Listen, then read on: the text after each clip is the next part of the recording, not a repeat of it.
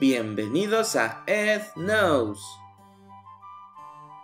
Benito Juárez es el personaje más importante de la historia de México. ¿Sabes por qué? Quédate para averiguarlo.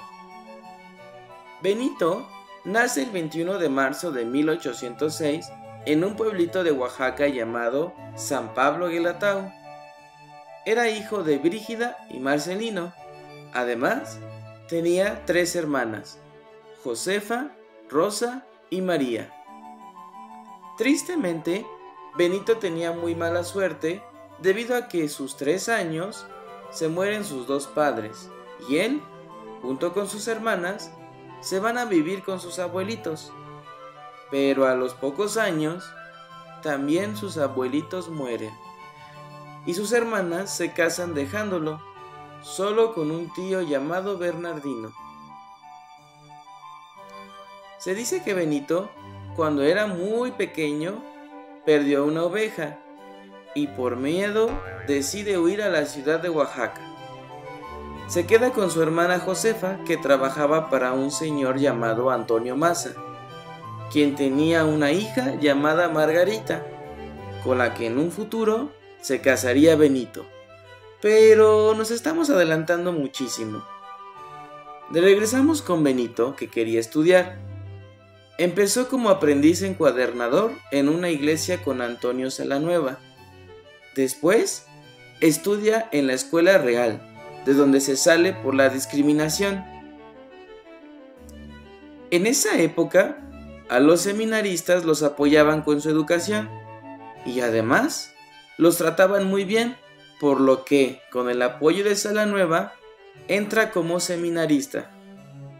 Era un excelente estudiante, pero llegó un momento en el que querían que estudiara para ser sacerdote, lo que Benito no aceptó y él abandona el seminario para estudiar Derecho. Ingresó al Instituto de Ciencias y Artes de Oaxaca y, a los 28 años, se convierte en abogado. Una historia que se cuenta es que se le pidió representar un papel en una obra en latín y para verse como romano se pintó la cara de blanco y eso hizo que se burlaran de él pero cuando empezó a hablar en latín, lo hizo tan bien que todos aplaudieron. Siempre se preocupó por los derechos de los campesinos y eso lo animó a participar en la política.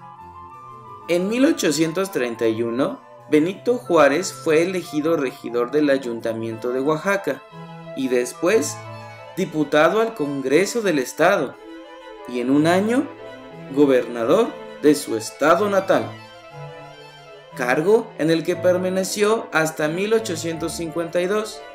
¿Puedes creerlo? Durante esta época se casa con Margarita Maza y también se vio obligado a exiliarse en Cuba debido a los conservadores guiados por el general Santa Ana. Si quieres saber más sobre los conservadores y liberales, déjalo en los comentarios. Tiempo después, ante la derrota de Santa Ana y el triunfo de Juan Álvarez, en la revolución de Ayutla, surge una nueva constitución en nuestro país, la Constitución de 1857.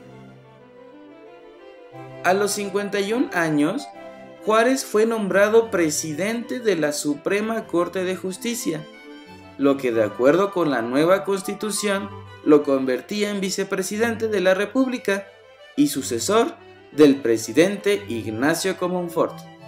Sin embargo, Comonfort pactó con los conservadores y Juárez fue encarcelado durante unos pocos días.